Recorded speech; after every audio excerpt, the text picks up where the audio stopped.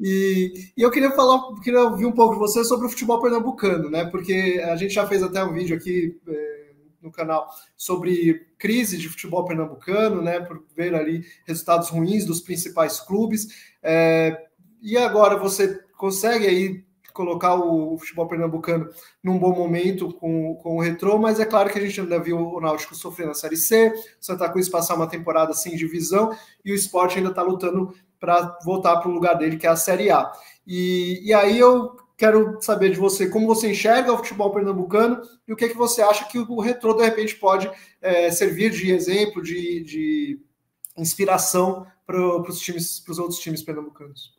É, eu acho que o futebol pernambucano tem um problema que não é do futebol pernambucano, é, é dos governos. E aí, sendo bem específico. Hoje, se você for pegar no eixo norte e nordeste, vou pegar o caso lá do Amazonas. O Amazonas ele recebe um, um, um, um investimento robusto né, do governo do estado, emenda parlamentar. Você vai para o Pará. O Pará recebe um, um volume gigantesco, tá aí Paysandu e Remo, né, lá na Série B. É, e Pernambuco, já de muitos anos, a gente não tem nenhum investimento público e futebol é um, um, um patrimônio cultural, né? E, e, alguns estados perceberam isso. Alagoas, Paraíba, é, agora o Piauí, é, o próprio Maranhão, todos esses, é, esses clubes que, desses estados eles têm investimento público. E quando eu falo investimento, é, me parece que no Pará o investimento é em torno de 5 a 8 milhões por ano para cada clube, né? E Pernambuco a gente não tem nada, né? Então é uma briga que a gente está tendo aqui. Eu tenho entendido que a, a governadora, inclusive, está até mais sensível a isso, porque não se faz futebol sem dinheiro. Isso é uma, uma, uma, um clichê antigo, mas é verdadeiro. É, o Ceará cresceu muito com o investimento do governo do Ceará nos clubes de lá. Então a gente está torcendo muito. Aqui em Pernambuco, eu vou falar um negócio para você. A gente faz um trabalho assim, as duras penas mesmo, e clubes como Central, é, o próprio Afogados, o Petrolina, é, o Salgueiro, é, são clubes que sofrem ainda muito mais com isso. Né? Então, eu acho que a gente precisa se, é, se juntar e entender mais é, essa coisa, para também não só criticar o futebol pernambucano sem entender esse contexto é uma briga desigual, né? Você ter um orçamento, vou imaginar aí um clube como o, o, Remo, vai ter um orçamento, teve um orçamento na Série C aí, sei lá, de 20, 25 milhões de reais. Isso é uma dedução, tá? Eu estou imaginando por entender um pouco de futebol. É contra o Náutico, que teve aí um investimento aí na ordem de 7, 8, 9 milhões de reais. Então, é, não é fácil fazer futebol sem recurso. É, então, a gente precisa entender isso para que a gente possa melhorar. Eu acho que esse ano a gente vai ter uma ajuda aí, espero eu, do governo do estado, porque aí a gente vai ter os quatro clubes esporte náutico Santa Cruz, o Central, que também vai participar da Série D.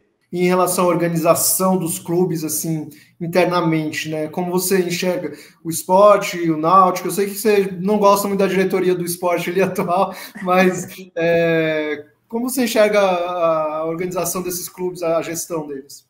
É, eu não tenho problema, não. Os meus melhores amigos no futebol são do esporte.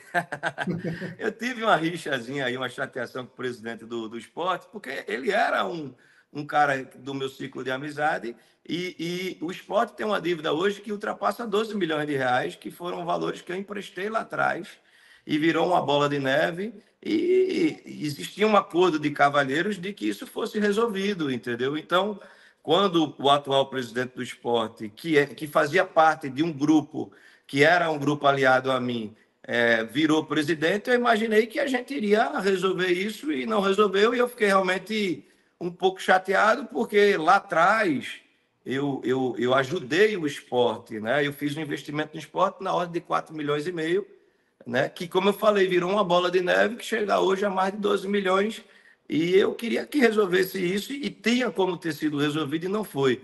Mas assim, passou, eh, né? Até convidei ele para estar aqui na festa. Não sei se vai vir, mas é, acho que pode vir.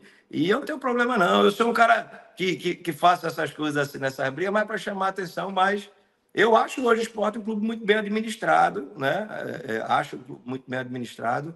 O Náutico também, né? E o Santa Cruz, eu acho que dos últimos anos aí é o melhor presidente que o Santa Cruz poderia ter o Bruno Rodrigues, que é um cara é, que, era, que era da política é um cara muito articulado, hoje é um dos principais parceiros nossos aí, uh, o Santa Cruz. Então eu vejo que o futebol pernambucano é, é bem administrado. Agora com essas dificuldades que eu falei, né? Da falta de recursos. É que sai esse 2024 aí, o esporte campeão e subindo na Série B, a gente deu uma retomada aí é, né, no futebol pernambucano. Quem sabe ano que vem com o Náutico e Retrô subindo para a Série B.